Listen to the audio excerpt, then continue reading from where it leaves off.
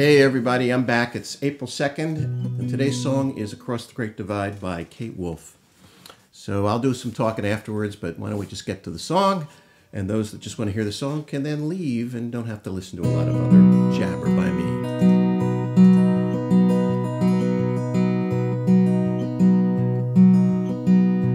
I've been walking in my sleep, counting troubles instead of sheep. Where the years went, I can't say. I just turned around when they'd gone away.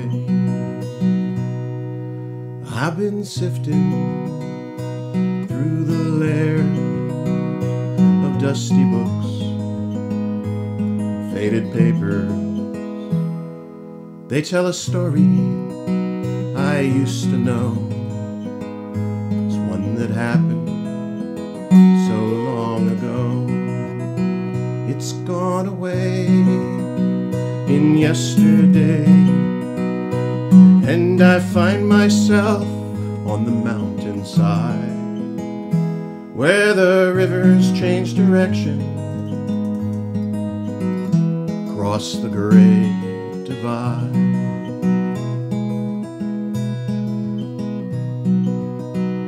I hear the owl gently calling as the night, the night is falling.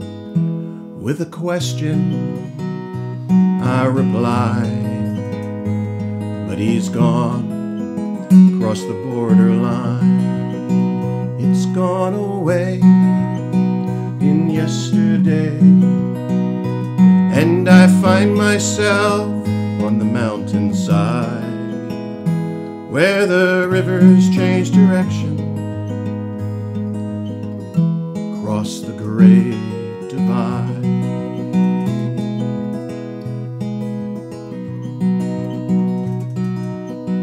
The finest hour I've ever seen is the one that comes between the edge of night and the break of day. That's the time the darkness rolls away.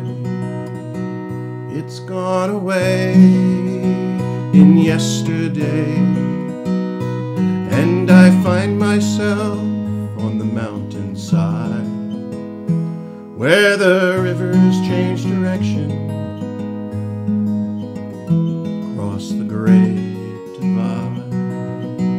It's gone away in yesterday, and I find myself on the mountainside where the rivers change direction across the great divide.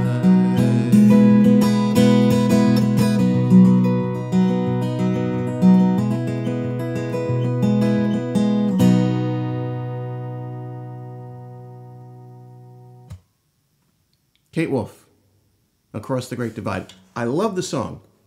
I've always wondered though, it's like it starts out with those first two verses, you know, she's pacing at night and whatnot, and then she's sifting through papers, they tell a story, she, you know, but then she doesn't tell the story. She's talking about the owl singing and the nicest thing. So it's kind of like, uh, hey, I'm going down that road, and then, oh, well, we're just going to go that way. But I still love the song. It just seems a little I, was waiting for the story when I first started to learn the song. Okay, so in terms of guitar technique, one of the things, if you play your G, and I play my G with these three fingers, I don't use my index finger. And the, the great thing about that is, a lot of people will do it like this, is that it allows you to drop a here to play a suspended G, G suspended, it's a great sound. Uh, I use that a lot. Or if you need to get to a C and you got to just touch it real quick, that's that's like I'm playing a C, but I'm doing it with a G bass, which is fine. A full C is with a G bass. So, uh, and so, there are a lot of songs where you just need that little dance of a chord, where it's almost just a pluck. Um, a lot of Paul Simon songs are like that, where he'll go like, you're going to go C, G, and D, but you have to do it like where you just touch the G, play the bass, and go right to the D. Um, so there are a lot of songs where you're not really playing the full chord. Also, um, uh, in uh, Wind, Beneath, Wind Beneath My Wings, same technique where used to be, must have been cold there, cold there in my shadow. See, I can walk it up as opposed to must have been cold there in my shadow, which is fine. But I like adding, starting the C and walking it up. Must have been cold there in my shadow. Full C. To never have sunlight on your face. See how that works? As opposed to to never have sunlight on your face. So that's where you don't want to go to the full C, you want to go something in between. And it's a great chord for that. Um, another chord I had to, technique I had to learn for this song was it's a normal bass run where it's like they tell a story. I've been walking in my sleep, counting troubles. That's bass run it's. But I like to throw in a, a D, so it's counting, count, counting troubles. So it's not just a bass run. I'm actually doing a D chord. That's kind of a D and um, but not enough time to go to a full D, and you don't want the sound of the full D. And that's the great thing that you, when you're starting to make arrangement, count in trouble.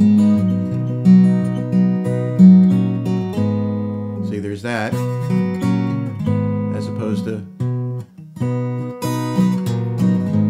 See, it's just the just the the F sharp that you hear. Otherwise, you hear this. Totally different, and I think it helps the voice. So enough of that backroom chat. But if you're into guitars and music and things like that, and that's a technique, I really like this. It's a variation of the D7, which I play a lot of my D7s this way with the F sharp bass as opposed to this F sharp. Because these two strings are the same note, they're just two octaves apart. All right, that's it from Rio Vista. Tomorrow, I think I know what it's going to be, but I will reveal that tomorrow because I don't want to commit. All right,